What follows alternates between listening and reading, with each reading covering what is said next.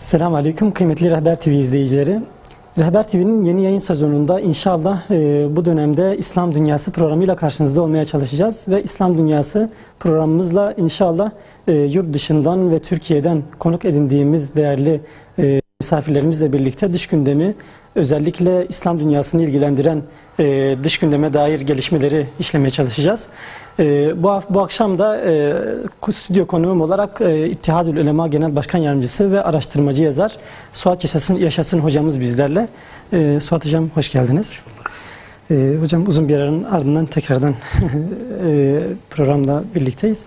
Hayırlı olsun inşallah. Eyvallah Allah razı olsun. Ee, aslında e, yani belki geçen programlarımızda, programlarımızda olduğu gibi e, en çok değineceğimiz ülkelerin başında e, Filistin gelecek. E, nitekim bu süreçte de Filistin'le ilgili çok sıcak gelişmeler yaşanıyor. E, özellikle Batı yakada e, hem direniş tarafından e, ciddi yani gelişmeler var hem de işgalcinin baskıları gitgide artıyor ve e, bunun da tabii etkileri oluşuyor. Ee, yani buradan başlayalım. Batı yakadaki bu Filistin'deki gelişmeler e, neyi işaret ediyor? E, neyin habercisi? E, bu sıkıntılar neden yaşanıyor ve direnişin buna karşı ortaya koyduğu tavrın e, açıklaması yani güç olarak iyi bir e, yani tavır da ortaya koyuyor. Bunu nasıl değerlendirmek gerekiyor? Buyurun. Bismillahirrahmanirrahim. Salatu vesselamu ala Resulü aleyhi ve sahibi. Dediğiniz üzere e, Filistin esasen Filistin derkenden merkezi olan Beytül Makdis'i kastediyoruz. Kudüs'ü, Beytül Makdis'i yani Mescid-i Aksa'yı doğal olarak merkezimize alıyoruz. Bütün Müslümanlar gibi. Bu takdiri ilahidir. allah Teala o şekilde takdir etmiştir. Tarihten bugüne böyle görürsünüz. Bu fuzuli bir iş değildir. İnsanların veya Müslümanların veya İslami hassasiyeti olduğunu söyleyen Müslümanların e, yapmaları halinde iyi bir şey yapmış olurlar. Yapmasalar da bir sıkıntı olmaz diye nitelendirilebilecek e, lüks e, olup olmaması değişmiş, e, kendilik arz eder diyebileceğimiz meselelerden değildir diyor. Akidenin bir parçası e, aynı zamanda stratejinin en temel unsuru olarak karşımızdadır. Bu anlamda çok mühim bir yeri mi işgal eder? Evet çok mühim bir yeri işgal eder. Bir zorunluluk mu? Bir zorunluluktur. Nasıl ki Kabe hayatımızın merkezinde ise Mescid-i Aksa da aynı şekilde hayatımızın merkezindedir. Bu bir kabul edilmesi gereken bir husustur. Allah Teala dilemiş olsaydı Peygamber Efendimiz Aleyhisselatü Vesselam'ın kendisine vahiy gelmeye başladıktan sonra veya namaz kılmayla alakalı emir diyelim geldikten sonra e, direkt Kabe'ye yönelebilirdi. Zira devam ede gelen bir İslami şey yok. Evet peygamberlerden devam eden belki Hanif dini uzantısı söz konusu. Temiz din anlamında. Ancak neticede yeni bir din, yeni bir şeriatla geliyor Peygamber Aleyhisselatü Vesselam. Direkt Kabe'ye yönelmesi isteyebilirdi. Zira Mekkeli, Mekke'deydi kendisi zaten. Biliyorsunuz Miraç gecesinde namaz farz kılındı. Hı. O dönemde Peygamber Aleyhisselatü Vesselam'ın Mekke'de olduğunu biliyoruz. Hazreti Hatice validemiz de vefat ettiği uzun yılında. Ee, yine sonrasında Medine ve diğer civarlara da gidip İslam ulaştığında da neticede Kabe var ortada. Hakikaten e, bu anlamda İslam'ın ilk kıblesinin Mescid-i Aksa olmasının tarihin tümüne veya kıyamete kadar yayılacak ciddi bir rolün olduğunu tek başına göstermeye yeterlidir. Bu anlamda Kabe, altın çizerek söylüyoruz sürekli. Birileri fuzuli görüyor. Birileri Mescid-i Aksa sizi niçin bu kadar fazla meşgul ediyor?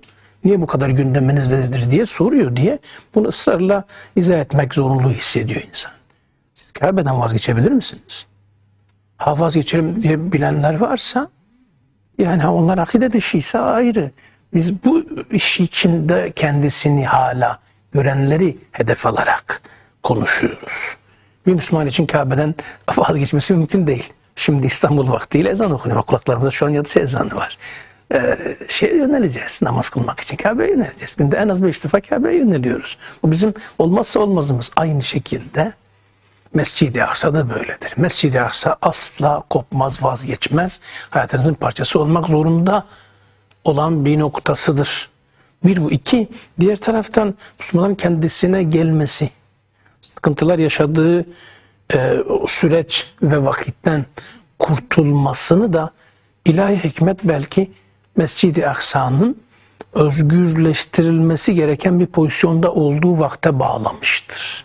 Nitekim e, sürekli e, bahsettiğimiz, konuştuğumuz ve kendisi e, bir yakınlığımız olması münasebetiyle iftihar ettiğimiz Selahaddin Eyyubi'nin Kudüs'ü fethettiği dönemde aynen böyle bir dönemdir. Müslümanların en fazla sıkıntı yaşadığı istilalarla karşı karşıya olduğu bir taraftan İslam Müslümanlar içerisindeki Moğollar, diğer taraftan e, tamamen e, karşı tarafta olan Haçlılar, e, Müslümanların dağınıklığı, kendi iç savaşları, e, bir türlü düzelme işleri, e, uhrevi ve dünyevi cihetle tamamen sıkıntı yaşadıkları süreç benzeri hepsini hesaplıyorsunuz.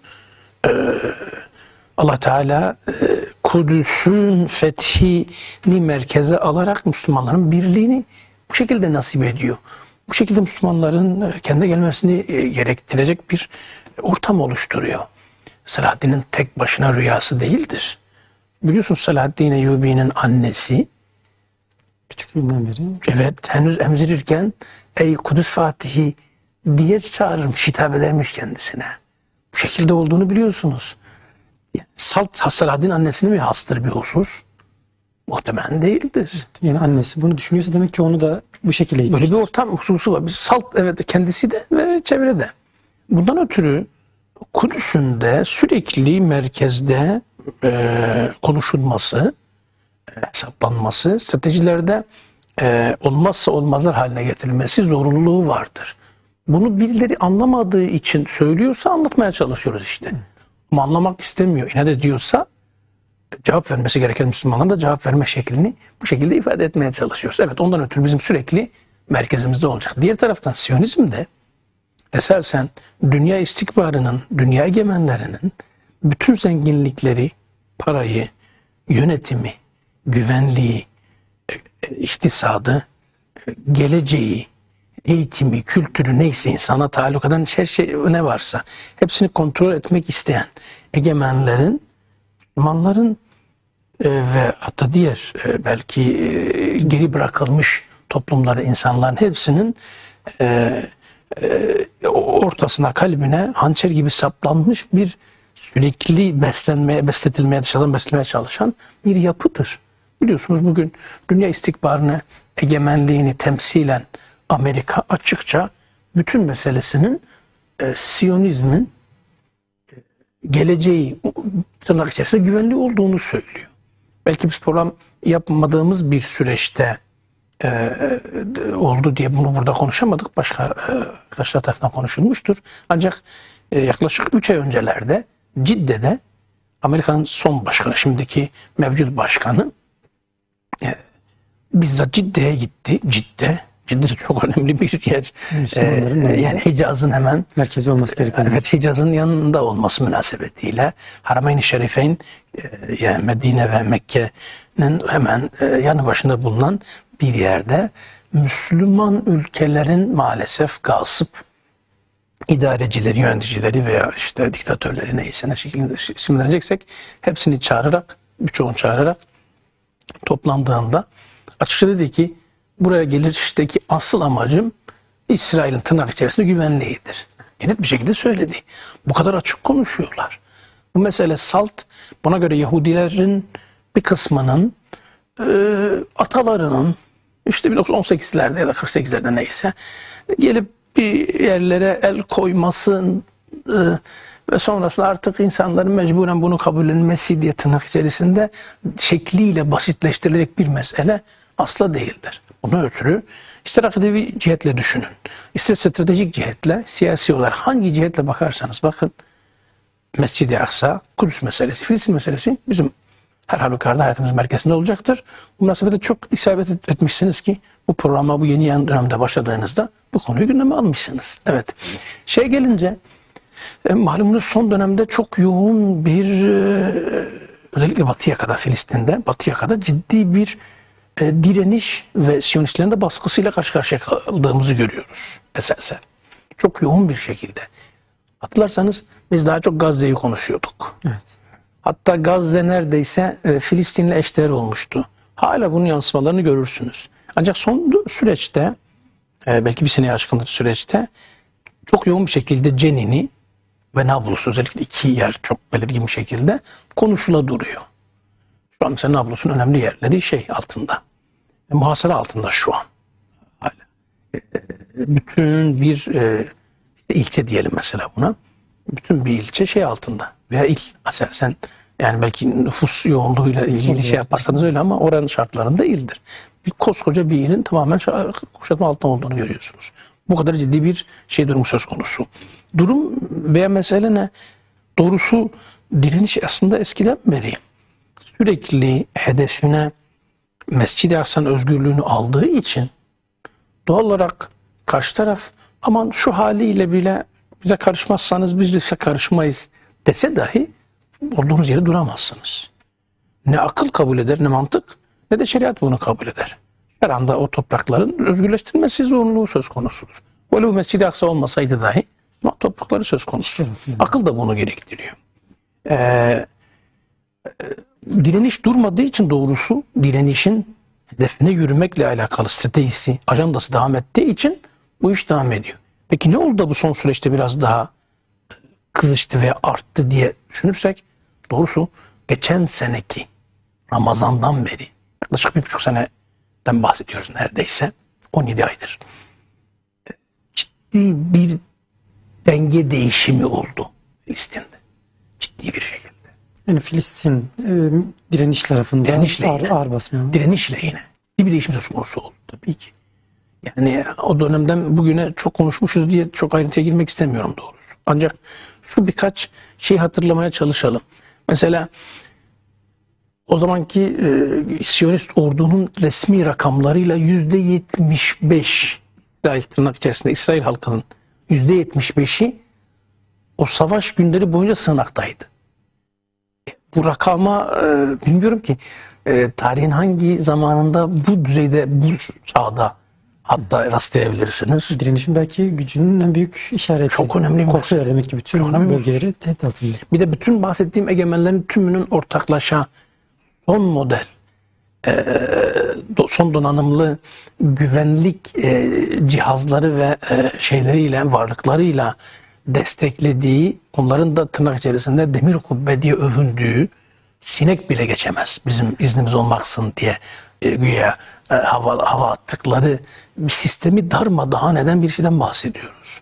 Düşün 250 kilometrelik füzeler attı. Ve bu e, daha e, en ileri füzelerimiz değil diye söylediler o dönemde. Zaten Gazze'nin yani Filistin'in metrekare olarak yani kaç- herhalde ne kadar şey var ki haklısınız. Yani en uzaktaki yere kadar atabildiler. Düşünün hava alanları çalışamadı.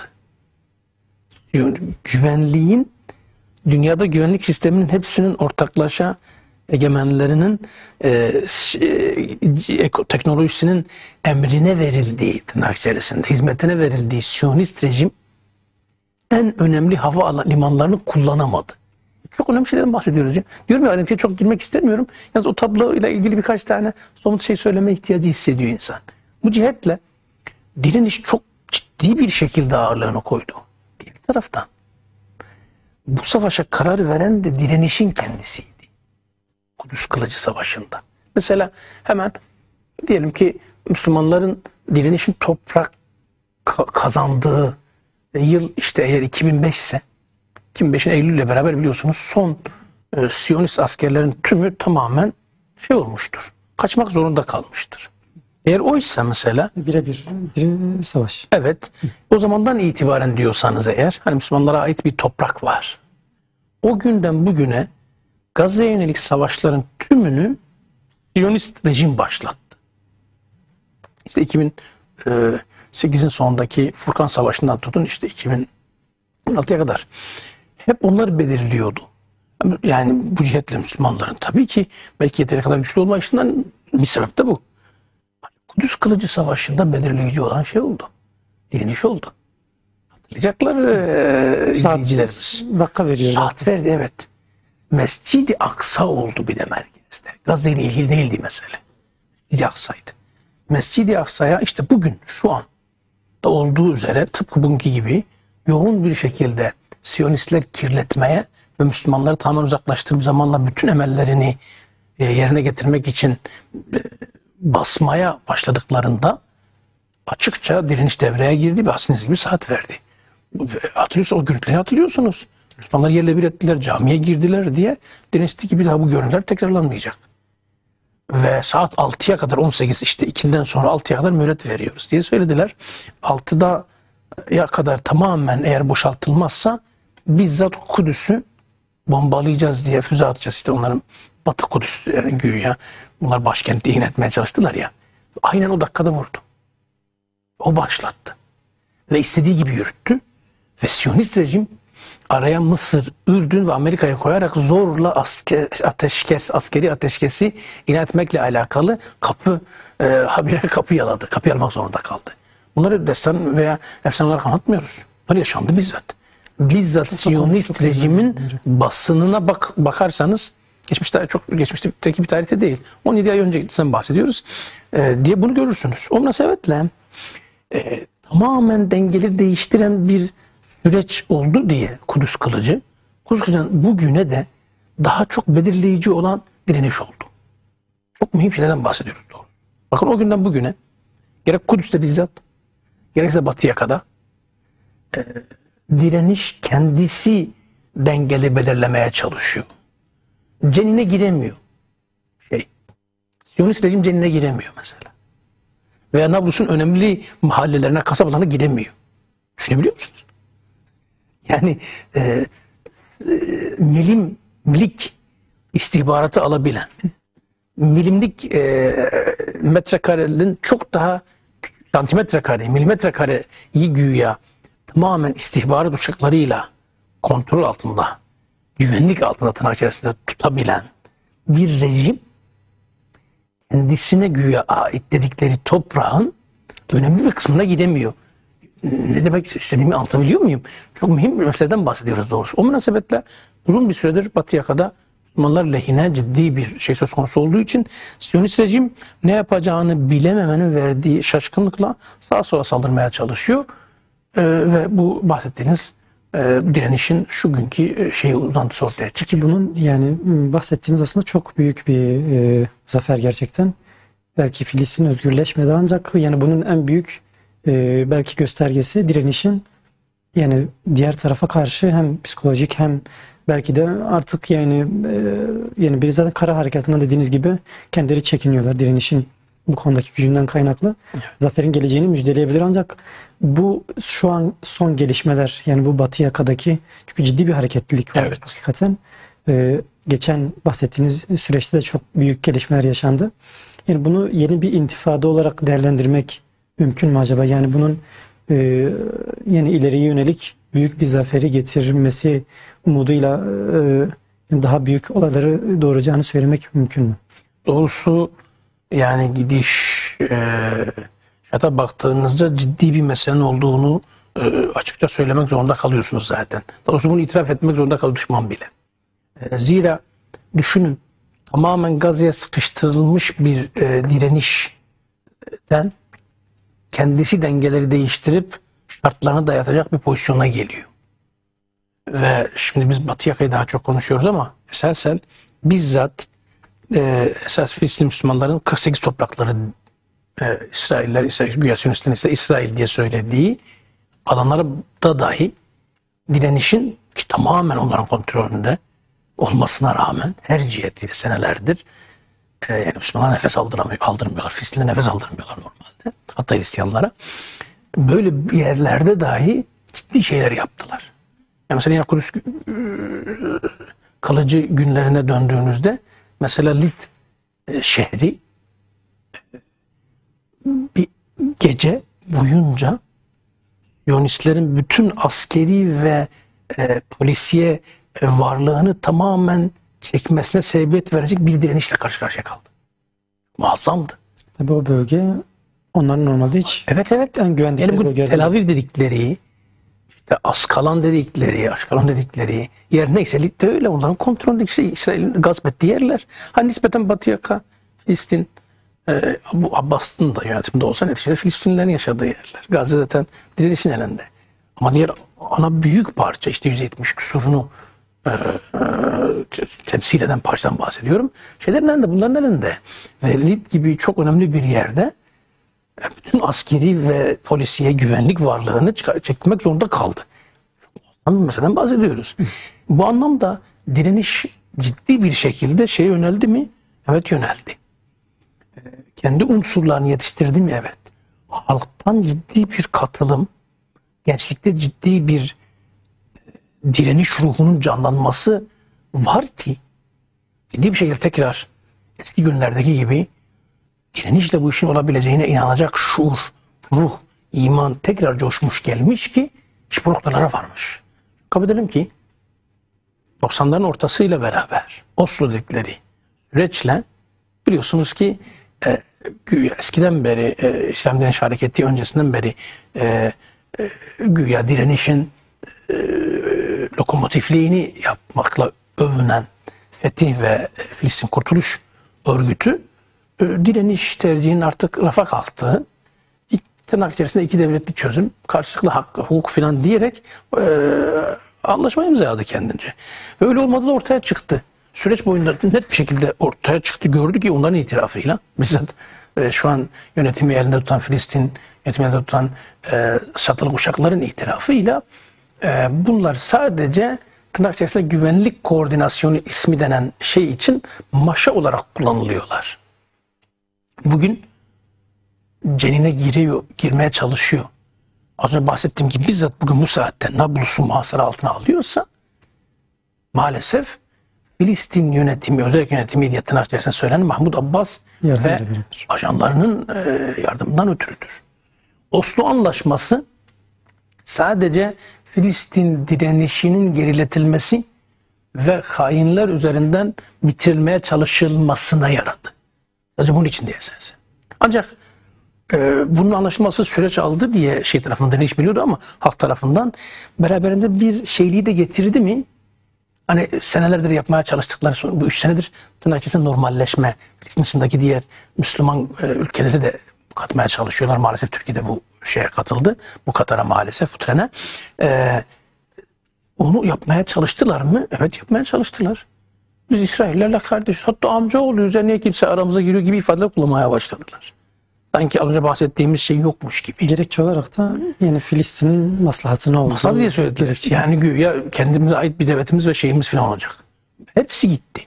Tamamen gitti. Bu süreçte kabul etmemiz gerekiyor ki halkta, gençlikte, direniş ruhunda da ciddi bir zayıflama oldu. Beraberinde eskiden tamamen düşman ve işgalci görünen ve öyle de olan Siyonist işgal rejimi ve unsurlarını ve saldırgan unsurlarını Filistin halkına, Filistinli çocuğa, gence yani bizim komşu ülkemiz diye tanıtmaya başladılar. Filmlerle, kültürel yollarla, e, ekonomik e, bazı şeylerle, vesilelerle, hep bu siyasi vesilelerle bunu yapmaya çalıştılar. Ve bu ciddi bir zayıflama getirdi doğrusu bunu kabul etmek gerekiyor. Ancak tabii ki e, Aksa İntifadası özellikle 2000'deki Aksa İntifadası ile beraber ciddi patlama yaşandı. Ve bu belki şeyde yol açtı. Gazze'nin tamamen kur- kur- çekilmesine sebebiyet verdi. Bu Müslümanların güçlenmesine sebebiyet verdi ama bu düzeye gelmemişti. Kudüs kılıcıyla beraber eski e, güç, eski e, iman, coşku, heyecanın ta gençlere kadar girdiğini görebiliyorsunuz. Fotoğrafları, görüntüleri e, izliyoruzdur beraber hepimiz. Hepsi gençlik. Yaşlıca ka- kadınlardan tutun e, küçük çocuklara belki böyle bir birden bile korkup tırsada kaçacak annesinin kucağına ağlayarak e, ko- ko- koşmasını e, e, kaçmasını beklediğiniz küçük mini sabilere kadar hepsinin cengaverce o e, en ileri derecede teknolojiyle donanmış silahlı şeylere karşı durduğunu görmüyor muyuz hepimiz?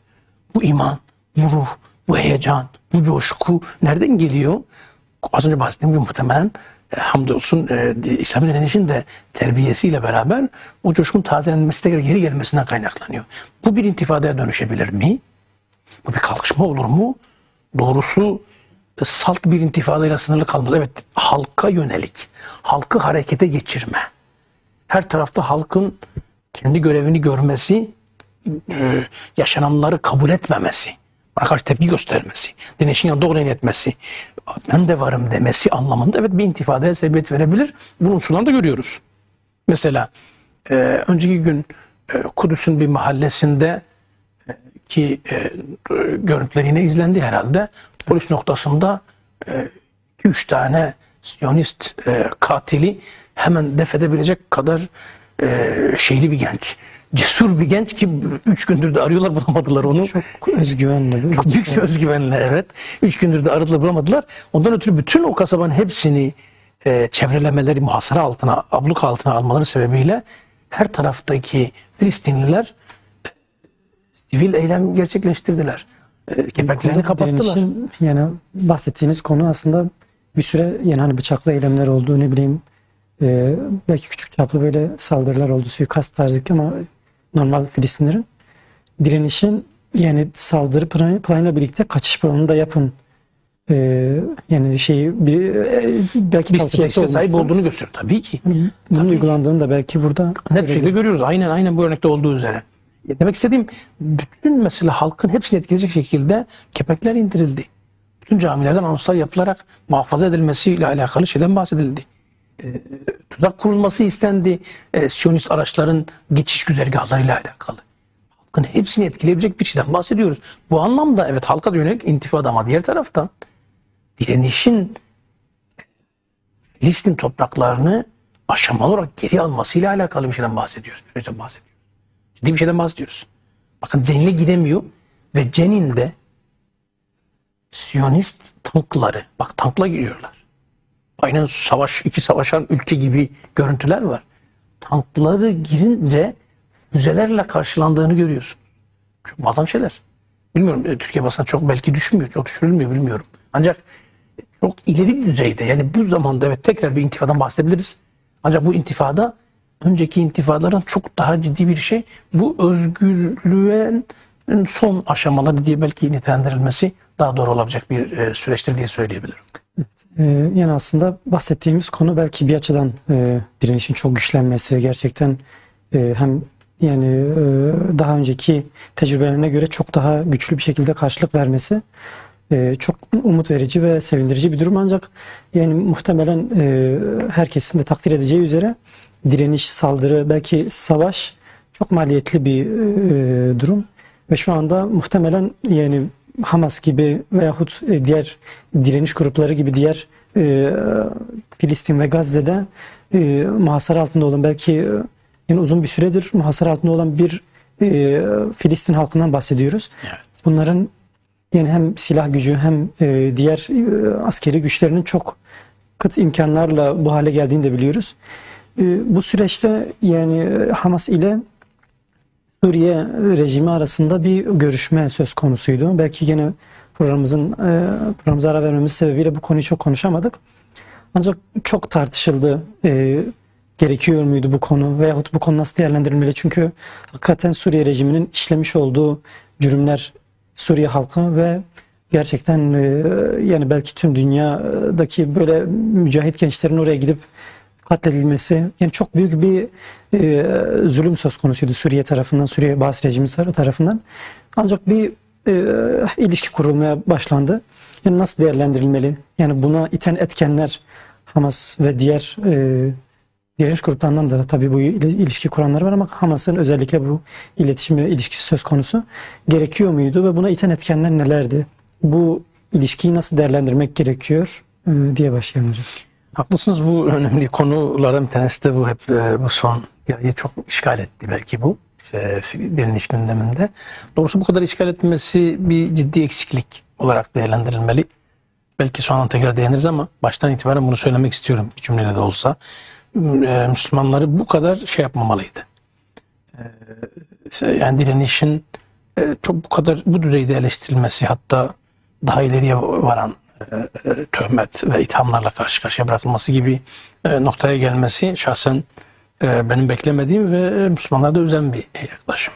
Ancak hani onu sona bırakarak gitmek gerekecekse evet Suriye rejiminin ne yaptığı ortada zaten.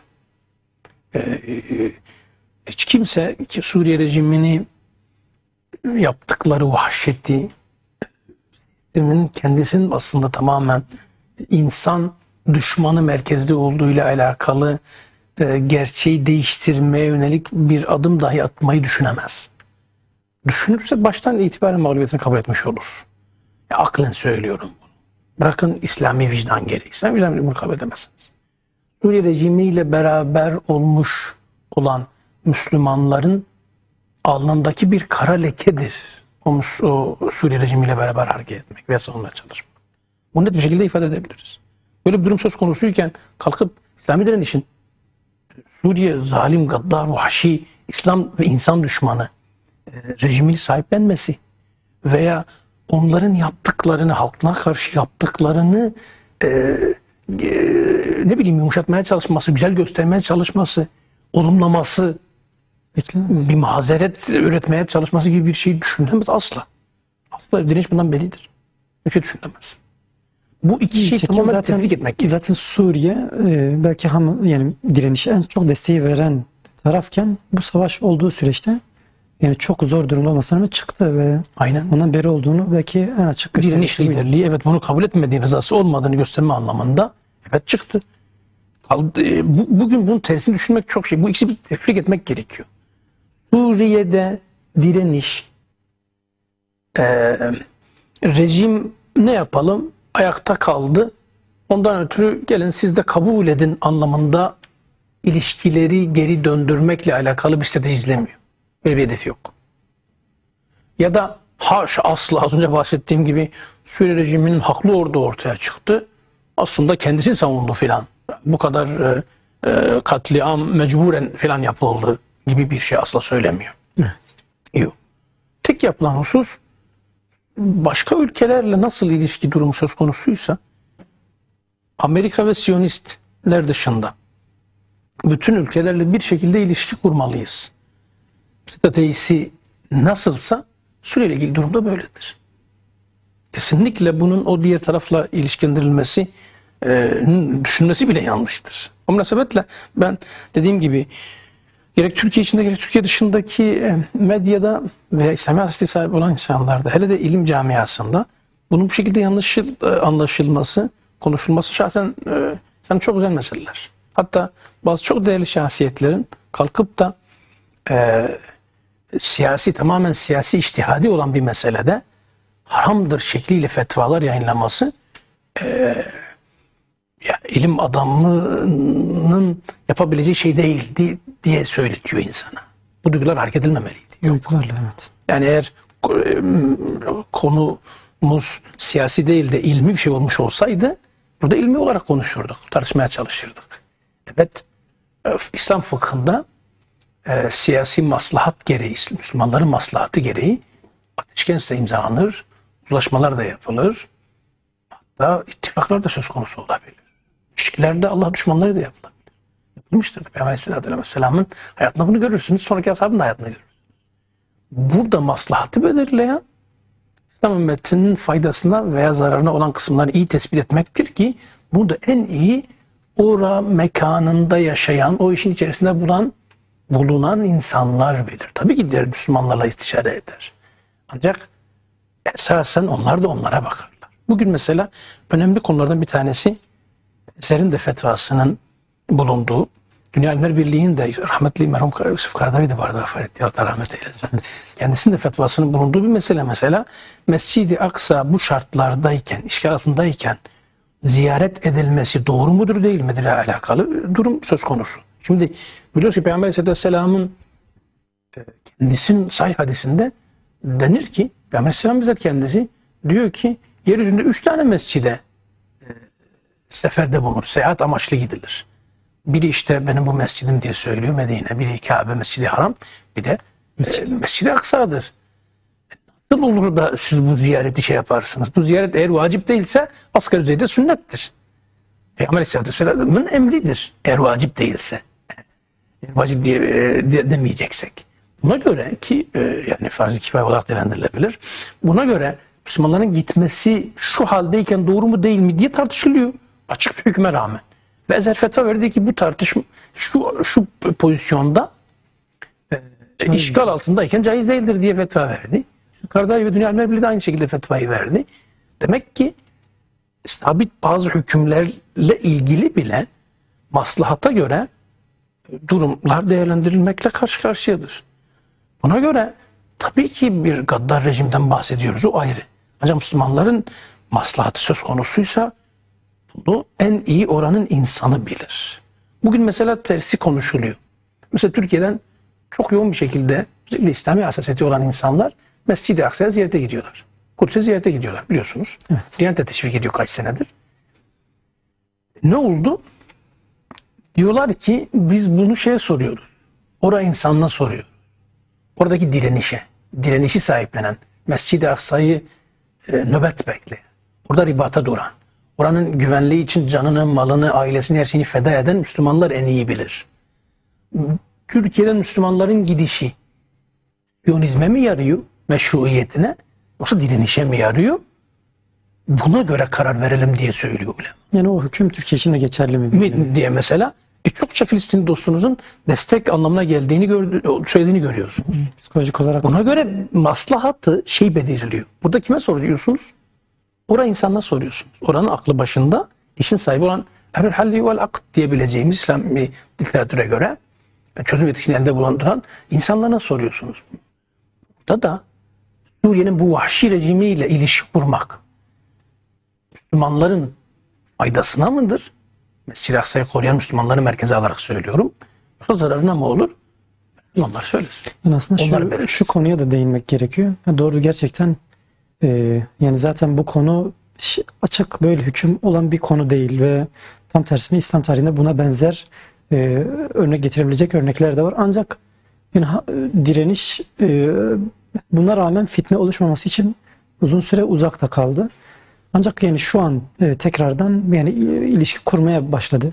Yani belki buna iten etkenlerin başına sayacağımız bazı noktalar vardır. Şu Onu- noktayı da rica, etse- rica ederek sö- söylemek istiyorum onu gelmeden önce. Yani sadece İslam tarihine gitmek yanlıştır kanaatimce eksiktir. Şu an mesela Mısır rejimiyle ilişki kuruyor mu? Evet, tamam yani. İlişki kurmazsa İslam Direniş Hareketi Gazze'den çıkamaz. Buna da ses çıkaran kimse yok yani. Hiç kimse yok. Mesela e, işte Rabia Meydanı'nda, Nahda Meydanı'nda yakın tarihten bahsedecek sadece. Kaç kaç bin insan e, şehit etti şu bugünkü Mısır rejimi. Şu an 100 bine yakın İslami hareketin tutuklusu yok mu cezaevlerinde? Vahşi bir şekilde hatta ölüme terk edilmiş. Her gün kaç tanesinin, daha doğrusu her ay kaç tanesinin ölüm haberi, vefat haberi, isya haberiyle maalesef şey Haftaya gelen oluyoruz. idamlarla ilgili. Evet yani bir güne bir gün siz Mısır rejimiyle niye ilişki kuruyorsunuz diye söylediğini duymadım doğrusu. Ne oldu Suriye meselesiyle alakalı şey yapıyorsunuz? Tekrar söylüyorum. Suriye'nin vahşi rejimini asla e, sanki çok insancılmış gibi göstermek adına demiyorum. Ortadadır. Kim bunu normalleştirmeye çalışırken bu ifadeleri kullanırsa e, kendi, hata kendi oldu lehine şey yaparsa onda olur. Kesinlikle. Ve Direniş açıkça bunu söylüyor. Ha, ancak bahsettiğiniz noktaya gelince yani düşünün. Az önce örneklemeye çalıştım. Ciddiye gidiyor Amerika'nın şimdiki reisi. e, Çetenin başı. Alıyor. Tarihte ilk defa diyor işgal altındaki topraklardan işte Tel Aviv'den veya Kudüs'ten uçakla Ciddiye indim. Bu ilk defa oluyor. Hava sahasını açıyor ilk defa. İsrail'in kontrolündeki Siyonist rejimin hava sahasına ilk defa Cidde, Suud hava sahasını açmış oluyor buna böbürlene böbürlene. İşte biz açtırdık diye geliyor. Burada topluyor Mısır'ı, Ürdün'ü bilmem emirliklerini falan hepsini ve diyor ki buraya İsrail'in güvenliği için geldim diye söylüyor. Bu düzeydeyken tamamen direnişi bitirme, tamamen makası alma, artık var olan her şeyi de bitirerek tam bir rahata ermeyle alakalı hesaplar yapıyor. Normalleştirme ismiyle tırnak içerisinde e, normalleştirmeyi devlet bırakmıyor. E, ya maalesef gasip iktidarlar sebebiyle. E, bu noktaya getiriyor. Siz direniş edeceksiniz ki küçücük her an kopması ihtimali olan devletler üzerinden kal da herhangi bir değişikliğe gitme. O zaman direniş demezsiniz buna. Bu hesabı yapmıyorsa direniş demezsiniz. Kaldı ki direnişe karşı açıkça buyurun topraklarımız size açıktır. Eskiden Suriye nasıldıysa tekrar Filistin direnişe kapı, direnişine kapılarımız açıktır diyen Suriye rejiminin şimdiki baş diktatörü. Kendisi hatırlıyorsanız geçen sene az önce bahsettiğimiz 17 ay önceki Kudüs Kılıcı Savaşı'nın son gününde Filistin direniş gruplarının liderlerini Şam'daki sarayında topladığında ki basına yansıdı o zaman hatırlıyorsanız orada açıkça ifade etti. Dedi ki biz bütün Filistin direnişli hareketler hepsimiz kapı açıktır. Hepsine e, buradan selamlarımızı söylüyoruz. Buyurun kim istiyorsa kapımız sonuna kadar açıktır. Biz eskiden nasıl değilsek tekrar o noktaya dönebiliriz diye açıklama yaptı. Ve muhtemelen bulunduğu yerde sınırlı kalmadı. Bu bizim gibi basından uzaktan izleyebilenlerin bildiği bilgiler. Muhtemelen sonrasında da sürekli iyileştirmeye çalışmakla alakalı şeyler yapmıştır. Niçin? Çünkü Suriye rejimi kendince meşruiyetini buradan almaya çalışıyor ve kaybetmiş olduğu birçok şey buna değiştiremez ama kendisince böyle bir strateji izliyor. Bunu Allah için yapmıyor. Filistin direnişin için yapmıyor. Öncesinde de yapmıyordu. 2011'de başlayan devrim ayaklanması ve sonrasındaki o katliam sürecinden önce de Allah için yapmıyordu. Filistin için yapmıyordu. Kendisi için yapıyordu. Halkı o şekilde konsolide etmeye çalışıyor ve başarıyor bunu. Bu, bunun için yapıyordu ama diğer taraftan Filistin direnişi için çok büyük bir kapı oldu o. Filistin direnişinin tek başına kalabileceği tek yer orasıydı. Unutmuşlar herhalde e, o, te- o şekilde fetva veren veya direniş aleyhinde bu süreçte konuşanlar. Halil Meşal vefat eden babasının cenazesine katılamadı Ürdün'e. O yüzünü bile alamadı ya. Yani çok vahşi rejimlerin gasp e, Siyonistlerden e, farksız belki daha kötü olan diktatörlüklerle yönetilen insan şeylerden bahsediyoruz. Bunların yönetimlerden bahsediyoruz. O münasebetle Suriye tekrar tekrar altını çizerek söylüyorum. Bu vahşiliğiyle beraber bu kapıyı açmışsa direniş evet biz bundan da istifade edelim ümmetin lehinedir diye düşünmüşse buna karşı durulmamalı, saygıyla gösterilmeli. Ama diğer taraftan işte çok iyi Müslümanlar var. Katliamla uğraşmayan, sizin gibi düşünen, e, sağlam akidesi olan Müslümanlar var diye söylüyorsanız o Müslüman ortaya çıksın, destek versin, sonuna kadar sırtında bulunsun. Bütün maddi, manevi güvenlikle alakalı bütün şeylerini gidersin direnişin. Direnişin e, az önce bahsettiğiniz gibi küçük bir e, silahın ne gibi maliyete yol açtığını biliyorsunuz. Gazze'de insanların yer altında yaşadığını biliyorsunuz. Bugün e, işgal altındaki topraklarda yaşayan Müslümanların her gün onlarcasını tutuklandığını biliyorsunuz. Bütün bu şeylerin hepsini kaldırmakla alakalı eğer Müslümanlar yeteri kadar destek çıksa Suriye rejimi gibi bir rejimle tekrar hadi e, ge- ge- gel çağrısına evet der miydi, demek zorunda kalır mıydı direniş?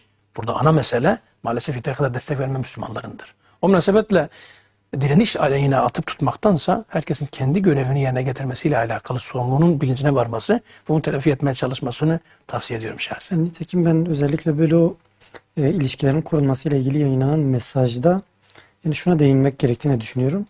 E, hani hakikaten çok ciddi bir ihtiyaçları söz konusu. Belki hani ihtiya desteğe ihtiyaç duydukları bir süreçte böyle bir çağrı var ve e, yani bir el uzanmasını bekliyorlar. Bununla beraber e, yani Suriye rejimi de hani bu süreçte kendisinden uzak kalmasından ötürü belki direnişi bir töhmet altında bırakıyor ve kendisine yani niçin bu süreçte benim yanımda değildiniz gibi bir e, yargıyla yaklaşıyor onlara. Buna rağmen yaklaş yani bu mesajda onların o gün işledikleri bir e, saldırıyı kınayarak onlarla iletişime geçeceklerini, geçeceklerini belirtmesi yani onların hatalarını kesinlikle kabul etmediği ancak buna rağmen ilişki kurulabileceği ancak bu ilişkinin kesinlikle bahsettiğiniz gibi onların yaptıklarını meşru gösterecek bir boyutta olmadığı kesinlikle o düşüncede olmadıklarını en büyük göstergesidir e, kanaatimce. Tabii tam tersine ya mesela Suriye'den çıkmadan önce 2011'den önceki süreçte 82'deki Hama katliamı sırasında e, yurt dışında yaşamak zorunda kalmış birço- birçoğu da İhvan-ı Müslümine mensup olan İslami hareketin mensuplarının onlarcasının Suriye'ye geri dönüp normal bir insan gibi yaşamasına aracılık etmiş olan bir İslami direniş hareketinden bahsediyoruz. Suriye'deki varlığı esasen Suriye Müslümanların, Suriye İslami hareketinin faydasına olmuş olan bir direniş hareketinden bahsediyoruz. Tersini düşünmek değil, bırakın. Normal, onu- normal görmek değil, meşru görmek değil. Tam tersine belki düzeltmeye çalışmakla alakalı varsa e, rolünü oynamak gibi bir durum bile söz konusudur. Evet. e, aslında vaktimizin de çok e, sonuna ulaştık pek vaktimiz de kalmadı. E, yani Türk yani Suriye rejimiyle ilişkilere e, girmişken belki e, Türkiye'nin de şu süreçte hatta e, gene hem Dışişleri Bakanlığı hem de Erdoğan'ın e, açıklamaları vardı. Rejim ile iletişim kurulabilir. E, bunda hangi- herhangi bir engel olmadığı ile ilgili. E, bunu nasıl değerlendirmek gerekiyor? Çünkü e, aynı eleştiriyi yani direniş direnişe yapan kesimler bu tarafa yapmıyor. E, bu tarafın yaklaşmasında yani Türkiye'nin iletişim kurmasında, ilişki kurmasında da bir sorun e, var mı, kurulabilir mi? Ve bu iletişim kurulması e, Suriye rejiminin artık e, belki değişmeyeceği, Esed'in orada kalacağı yönünde bir e, işaret olabilir mi? Çünkü şu ana kadar öyle bir iletişim yani ilişki söz konusu değildi. Bundan sonra yapılması e, acaba artık gitmeyecek orada onunla en azından iletişimi kuralım gibi bir düşünceden kaynaklı mı yapılmış bir adım? Her şeyden önce Allah Teala bütün zalimlerin belasını er- en yakın zamanda versin diye beddua etmek lazım. O zalimlere, o gasp rejimlere. Yani hangi şekilde kaldığı hususu değil. Teala onu niye orada tuttuğu önemli. Teala der ki Kur'an'da mealen o zalimleri le mühlet vermemiz azaplarını artırmamak içindir, artırmamız içindir diye söylüyor. Teala azaplarını artırsın. Tez zamanda zalim rejimleri yıktırsın. Yani Müslümanların kontrolünde e, rejimler, adi, adi rejimler getirsin diye beddua etmek gerekiyor. Türkiye'nin meselesini değerlendirme hususuna gelince İslami hareketi değil, İslam direniş hareketini konuşurken ilkelere göre hareket ettikleri için rahat bir şekilde bunu konuşabiliyor, savunabiliyoruz diyebiliriz. Ancak Türkiye'de tamamen siyasi maslahatlarına, çıkarlarına bağlı olarak hareket eden siyasi yapılar, devletler, hükümetler söz konusu olması münasebetiyle doğrusu burada bir ilke hususu söz konusu değil. İlkeye göre hareket etmiyorlar. Ha ilke neyi gerektirir diye diye düşünürseniz en baştan beri konuşuruz. NATO ile ilişkilerinden tutun, Siyonist rejimle olan ilişkilerine kadar işte normalleşme diye bir şey girdiler. Hepsini beraber değerlendirsek bunu da konuşalım. Ancak baştan beri ilkesizlik tamamen siyasi çıkarları için yaptıkları münasebetiyle göz önünde bulundurduğunuzda bu da var olan devam eden siyasetin bir parçasıdır. O, o hususu da isterseniz ben yorumlamayayım diye söyleyebilirim. Eyvallah hocam. Yani son bir sözünüz varsa Teşekkürler. Eyvallah çok sağ olun katılımınız için hocam. Ee, evet değerli Rehber TV izleyicileri e, İslam Dünyası programımızın sonuna ulaştık. İnşallah bir dahaki programımızda görüşmek üzere. Allah'a emanet olun inşallah.